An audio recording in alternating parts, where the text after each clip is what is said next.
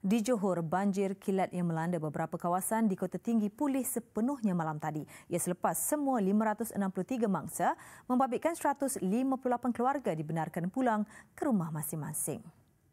Dua pusat pemindahan sementara PPS yang dibuka sebelum ini iaitu di Dewan College Vocational dan Dewan Sekolah Jenis Kebangsaan Cina New Kota turut ditutup semalam. Daerah berkenaan mengalami banjir kilat kemarin berikutan hujan lebat yang menjejaskan penduduk dari Taman Aman dan Taman Mawai. Menurut Pengerusi Jawatankuasa Kesihatan Alam Sekitar dan Pertanian Johor Dr. Sahrudin Jamal, sebuah lagi PPS bagi mangsa kejadian tanah runtuh di Felda Linggui yang berlaku Khamis lalu bagaimanapun masih dibuka sehingga keadaan di kawasan dipastikan selamat. Tambahnya bantuan segera kepada mangsa yang terjejas sudah dilakukan bagi mengurangkan beban mereka.